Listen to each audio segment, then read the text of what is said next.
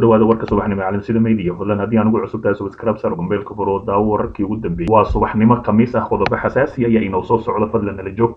beesha caalamka oo si weyn u dhabarjiyey madaxweyne farmaajo kheyr islamarkaasina kana soo horjeestay lana tashtay maamul goboleedyada mucaarad iyo muxaafidna islamarkaasina sheegay waa qasab in ay doorashada dhacda ayadoona lala tashan dowladda federaalk soomaaliya wadatashiga beesha caalamka oo la soo afjaray iyo go'aan culus oo dhowaan laga qaadan doono dowladda federaalk soomaaliya iyo wararkii ugu dambeeyey. Labadii asbuuc ee u dambeeyey waxaa beesha caalamka wadatashiyo la samaysay dhammaan madaxda dowlad goboleedyada taas oo lagala tashanayo sida ay u arkaan xaalada dalka marayo suuragalnimada qabashada doorashooyinka iyo in ay xilligeeda ku dhacdo doorashada qaranka arrimaha amniga iyo ka hortaga faafida cudurka caabuqa sagaal toban. Intaasoo qodob ayaa laga wada hadlay. Qodobka ugu muhiimsan haddii aan ka qaadano wararka ugu waaweyn ayaa waxa uu yahay doorashada qodobka ugu muhiimsan oo ay beesha caalamka kala hadashay dowlad goboleedyada ayaa ahaa dhegaysiga talo soo jeedinta la xiriirta arrimaha doorashada beesha caalamka. Ayaa doonaysay ay inta ayan go'aanka ka soo saarin rodmapka arrimaha doorashooyinka qaranka ay dhegaystaan talada madaxda dowlad goboleedyada dalka mucaarad iyo muxaafidba islamarkaasina sidaad sawirka ku aragtaan muuqaal guud ku wada sheekaysanayay. Bartamaha bisha juun ay soo socota waxaa shir ka yeelan doona arrimaha soomaaliya. Golaha ammaanka ee qaramada midoobay inta uusan dhicin kulankaasi ayaa la doonayaa in la diyaariyo qorshaha geedi socodka doorashada soomaaliya. Waxa uu caddaatay beesha caalamka in aysan marnaba macquul ahayn in madaxweyne farmaajo iyo kheyre laga sugo in ay dalka doorasho gaarsiiyaan ha noqoto mid dadban iyo mid toos ahba. Sidaa daraaddeedna go'aanka doorashada iyo qaabka ay u dhacayso ay taladeeda ka timaado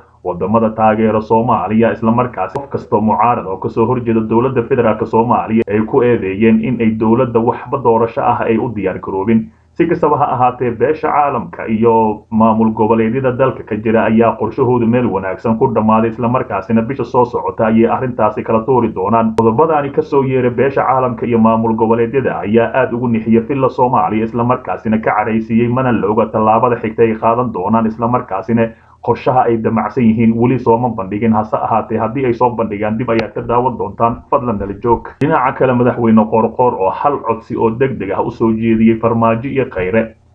warar lagu kalsoon yahay oo heshay calansida media ayaa sheegaya in madaxweynaha galmudug uu telefoonka kula hadlay madaxda dowladda soomaaliya islamarkaasina uu u soo jeediyay dalab muhiim u ah islamarkaasina muhiim tahay inay aqbalaan. Madaxweyne qoorqoor ayaa madaxda dowladda ka dalbaday in muddo kooban ay al-shabaab looga saaro degmooyinka gobolka galgaduud taas oo ah arrin uusan ku filnayn maamulka galmudug. Xogta ay heshay calansida media ayaa sheegaysa in sababta uu dhuusamareeb u tagay taliyaha ciidanka xoogga dalka ay la xiriirto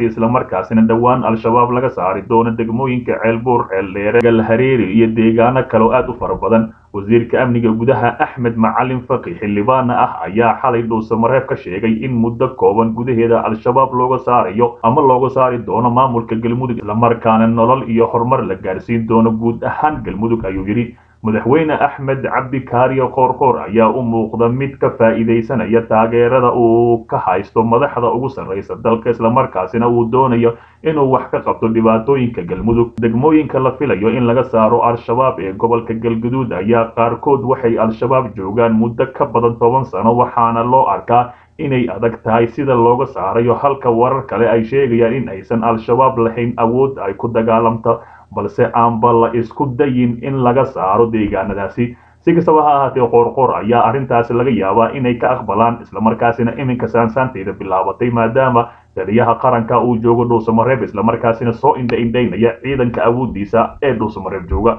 Dhinaca kale wasiir ka soo goosta jubbaland oo isagoo xamar ku sugan maamul u magacaabay gobolka gado iyo wararkii ugu dambeeyey ka soo baxaya wasiir ku-xigeenka arrimaha gudaha maamulka jubbaland cabdiraxmaan maxamed xuseen. Guddoomiye cusub iyo ku-xigeenkiisa u magacaabay maamulka gobolka gado isaga oo ku sugan magaalada muqdisho baxsadna ka ahaa maamulkiisii cabdiraxmaan maxamed xuseen ayaa toddobadii maars isku soo dhiibay ciidamada dowladda ee ku sugan degmada doolow ee gobolka gado waxa uuna wixii ka dambeeyey ku sugnaa magaalada muqdisho ayuu yimid si kastaba madaxweyne axmed madoobe ayaa xilka ka qaadin cabdiraxmaan maxamed xuseen welina sooma dhisin gole wasiiro cusub taasi weli sharciyan ku sii haynaysa xilkiisa cabdiraxmaan ayaa guddoomiyaha cusub ee gobolka gado u magacaabay cusmaan nuur xaaji macalimu oo aada ugu xiran uguna dhow dowladda federaalk soomaaliya macalimu ayaa muddo ahaa guddoomiye ku-xigeenka gedo iyo siihayaha xilka guddoomiyaha waxa uu sidoo kale magacaabay guddoomiye ku-xigeenka arrimaha siyaasadda maxamed cali xuseen guddoomiye ku-xigeenka labaad ee maaliyadda nasteexo cabdi saalax iyo madaxa arrimaha bulshada ee gobolka ibraahim maxamed gubow ayuu yidhi. Xubnaha dowladda federaalka taageersan ee gobolka gedo ayaa weli sheegta magaca jubbaland oo ay u muuqato mid ay maamulkaasi kula sheeganayaan maamulka axmed madoobe. Si kastaba ma cadda sharciyadda uu cabdiraxmaan u haysto xilalka uu magacaabay iyo sida arrintaani ay u shaqayn doonto. Axmed madoobe ayaa ilaa iminka ka soo jawaabin hadalkan ka soo yeeray wasiirkii baxsadka ahaa. Dhinaca kale madaxweyne ku-xigeenka puntland garaash oo laga mamnuucay warbaahinta maamulka puntland kadib tallaabo uu qaaday madaxweynihii maamulkaasi puntland iyadoo puntland ay xaaladda cakiran tahay dhanka amniga oo ay ka jiraan maalmihii la soo dhaafay haddana waxaa ka sii dartay khilaaf u dhexeeya madaxda ugu sarreysa maamulka waxayna arrintaasi gaartay in dagaal dhanka warbaahinta ahi uu yimaado khilaafkan ayaa maraya heer madaxweyne ku-xigeenka puntland laga mamnuuco inuu adeegsado warbaahinta maamulka taasi oo ku khasabtay inuu abuurto bogga u gaar ahay asiga. Madaxweynaha maamulka puntland saciid cabdulaahi deni iyo ku-xigeenkiisa axmed cilmi cismaan karaash ayaa markii hore isku khilaafay xilka qaadis lagu sameeyey mid ka mid ahay la taliyaasha ciidanka madaxtooyada. Madaxweyne dani ayaa xilka ka qaaday taliya ku-xigeenkiisa ciidamada ilaalada madaxtooyada wuxuuna durbaba magacaabay mid kale arrintaasi waxaa ka soo horjeestay ku-xigeenkiisa karaash oo waxba kama jiraan ku tilmaamay xilka qaadista iyo magacaabista labadaba.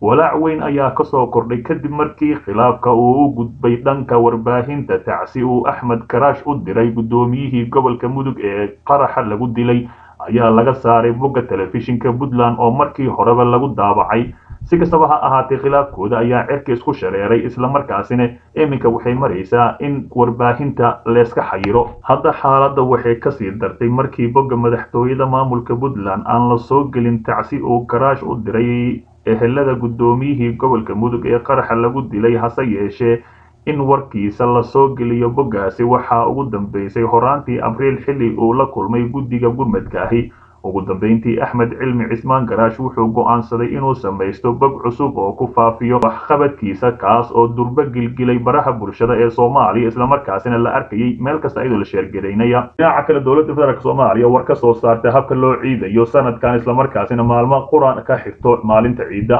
maalmaha ciidulfitriga ayaa nagu soo wajahan iyadoo shacabka soomaaliyeed ay aad isugu diyaarinayaan maalmaha farxadda leh balse wasaaradda awqaafta iyo arrimaha diinta ayaa soo saartay warbixin ay taxadar ku farayso shacabka maadaama uu jiro xanuunka caabuqa sagaal iyo toban islamarkaasina dadka la diidaya inay isu uga imaadaan ayna kala qaadaan. Wasiirka wasaaradda sheekh nuur maxamed xasan ayaa shacabka kula taliyey inay taxadar weyn ka sameeyaan xanuunka islamarkaana ay xirtaan face maska ama afxirka iyo sidoo kale ay xirtaan gacmo kashiga taas oo difaac culus ka galaysa qofka wasaaradda waxay ka walaacsan tahay in xanuunka si fudud oo ku faafo maalmaha ciidda maadaama bulshada soomaaliya ay tahay mid ismarxabayn badan balse waxay shacabka u soo jeedinaysaa inay raacaan talooyinka caafimaadka ah ee ka hortaga caabuqa sagaal iyo toban maadaama qof walba uu asiga dantiisa laga shaqaynayo afartan iyo toddoba kiis ayaa saacadihii ugu dambeeyey laga diiwaangeliyey soomaaliya waxayna tirada guud ee dalka uu soo ritay cudurka caabuqa sagaal iyo toban oo gaaray kun iyo shan boqol in ka badan iyadoo ay u dhinteen dad aad u fara badan islamarkaasina qaarkoodna boqol siddeetan iyo siddeed qofna ay bogsadeen.